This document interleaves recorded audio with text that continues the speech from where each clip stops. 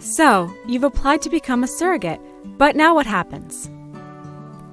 Well, here at Conceptual Options, one of our intake managers will reach out to you shortly after you submit your online application to discuss what your expectations are for the surrogacy process. Our team will discuss your individual needs and desires for your surrogacy journey and will help to ensure that you are completely aware of what the process entails. We will also work through our surrogate screening process with you to ensure that you are a healthy candidate and that being a surrogate is a good fit for you.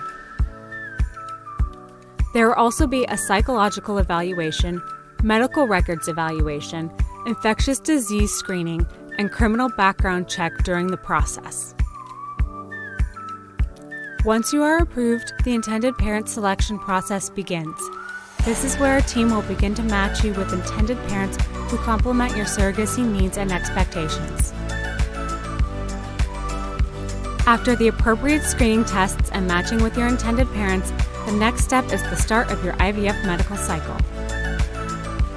After successful IVF medical cycle and confirmation of a positive pregnancy test, your surrogate pregnancy journey begins.